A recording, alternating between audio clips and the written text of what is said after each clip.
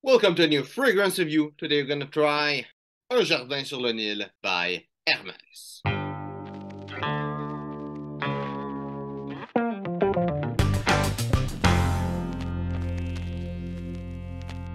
So we got a nice little bottle like this.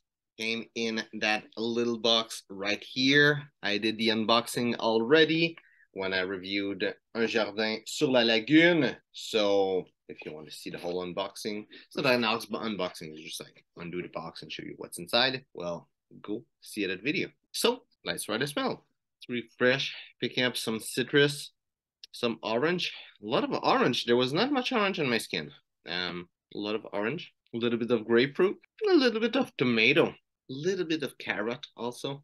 There's some kind of aquatic green smell to it. I know there's bulrush, might be lotus also, might be iris. A little mix of all of this. That's about it. My skin and the top notes was picking up a lot of grapefruit and a lot of tomato, a good amount of mango, a little bit of bulrush, a little bit of carrot, a little bit of hyacinthe, a little bit of iris, and a little bit of incense. In the heart notes, I was picking up a good amount of lotus, a little bit of tomato, a little bit of bulrush, a little bit of carrot, a little bit of orange, a little bit of hyacinthe, a little bit of iris, a little bit of incense, and a little bit of cinnamon. And in the base note, I was picking up a good amount of incense, a little bit of iris, a little bit of musk, a little bit of labdanum, and a little bit of cinnamon. I need to say the iris in this fragrance is not some kind of creamy or makeupy iris. It's really more like a delicate flower kind of note. Projection is pretty good. A little bubble around me, people were able to pick it up. And actually an extended bubble, a good six feet, I would say people were able to pick it up. And longevity was really good. It was over 12 hours. And for the complete note breakdown, top notes are grapefruit, green mango, tomato, and carrots.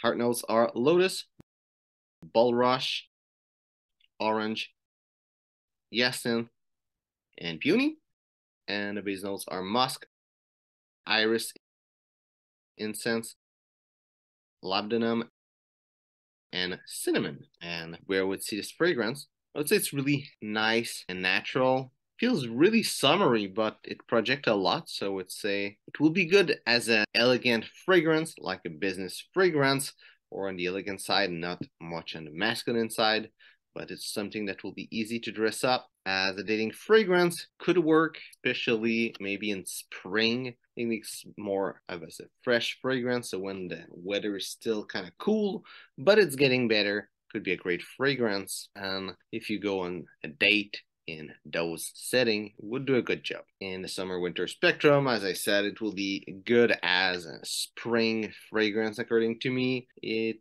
might be a bit intense for summer, but it smells doesn't have that harsh syrupy synthetic note that some fragrance has. I mean, not at all. So could work in summer. Projections seem to be working in winter also, but it wouldn't be too good, but it should work. And I would say it smell fresh, almost summery. It smells what I think of spring. So I think it would be a good spring fragrance. And it's really where I would see that, that fragrance at its best. Is just wearing it as in spring. If you're someone that like fragrance for the art of fragrance, it's really unique fragrance. And that will be a great fragrance to take out of the shelf and wear it during spring. And as an everyday scent, I think it could work. Uh, it's fresh, it's nice, it's unique the way it's made, but it's not something weird or anything. It's something that will be appealing for a lot of people. So will work well as an everyday scent. The only thing I would say is that the, I think those fragrances are pretty expensive or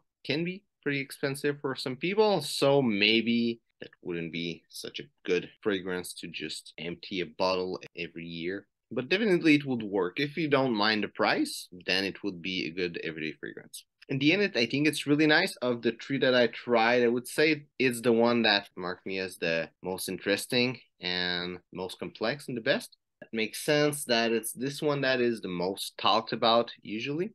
And that's about it. Hope you enjoyed the video. Case, well, like and share. If you're a big fan of Hermès, Tell me what you think about them and what is your favorite fragrance at all from the brand. So thanks for watching and see you soon.